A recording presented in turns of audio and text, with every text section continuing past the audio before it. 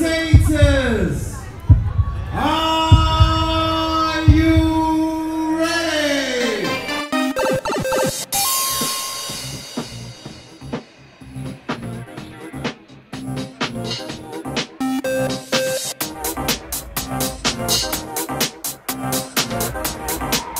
Everybody loves Legos. I mean, I constantly ask who who hasn't played with Legos, and nobody answers. We have a lot of fun. We make a new family and we work together. And it's not all about winning, it's also about having the most fun you can. We are here in Mannheim, which is in Germany, Europe. and uh, those are the first Lego League Open European Championship. And Open European Championship means that the championships are based in Europe and organized from organizers in Europe, but teams from all over the world are allowed to participate.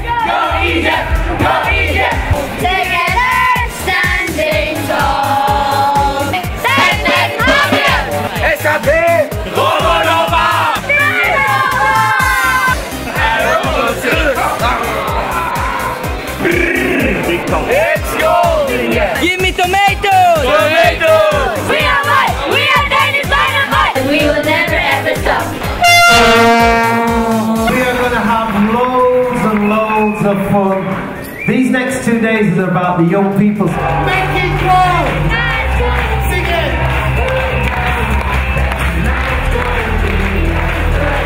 Sing it! Three, two, one, Lego! First Lego League is an educational program based on robotics and the goal is to uh, get kids interested into science and technology and it's based on Lego Mindstorms which is a Lego robot. The FLL is a competition to teach people about teamwork and to teach people about science. It's a more enjoyable way to learn science. Besides robot design, there of course is the robot game where the kids compete and try to get most points in the match. And then there is also a research presentation and then we also look at their team values, do they work as a team? And there are actually four categories that in sum make the champion. In this event there are so many people, companies, non-profits, schools, universities united.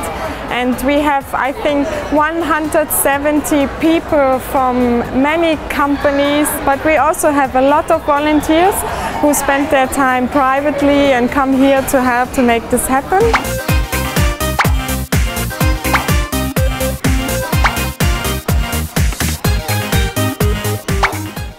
Dieses allein schon hier sein ist schon so phänomenal und so eine tolle Stimmung und das übergreift über alles. Das führt einfach dazu, dass man nie, nie aufhören möchte. Man möchte immer weitermachen und wenn das Jahr vorbei ist, fängt das nächste Jahr an und es macht einfach süchtig und extrem viel Spaß dabei zu sein. Das möchte man einfach nicht verpassen. It's really great to see all these different cultures and everybody's bringing, it seems that bringing something from their home uh, here. So it's a little bit like a circus. Es macht ziemlich Spaß und so und man lernt was dabei und es ist halt auch freiwillig und ist halt mal was anderes, nicht immer und es wird das Team bewertet und nicht immer nur man selbst wie in der Schule oder so. Und es macht halt auch riesen Fun so bei so einer großen Veranstaltung. I become a coach because it's fun to work with the uh, youth and the children on technical uh, programming of robots and all that kind of stuff. And it's very fun to build a team, to really build a team. And they youth is very open for new thoughts, to bring them together and very interested in this technical understanding. Are you ready? Three,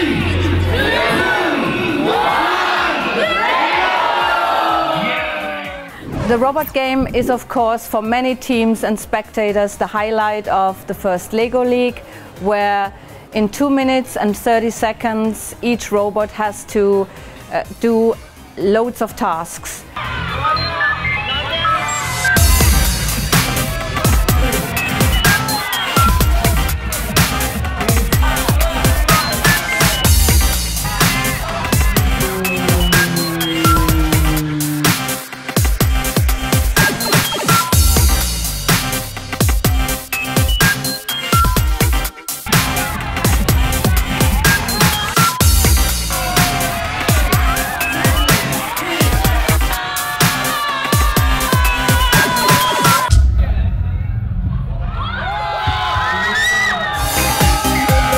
We are uh, very uh, fun here. It's all we meet kids from all over from all over the world, and it's very fun. All the all the competition and all the dancing and all everything.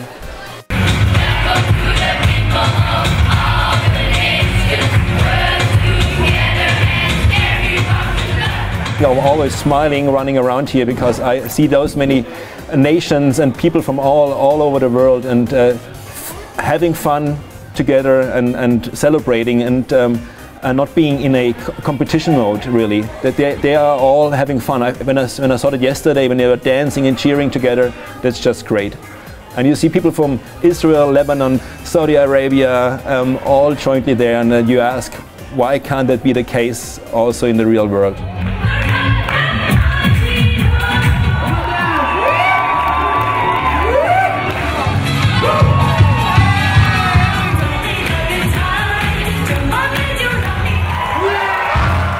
It's just like kind of overwhelming at times and it's like so amazing to just hear all these people like speaking their own little language and then just wishing you could be a part of that. A massive round of applause and a cheer!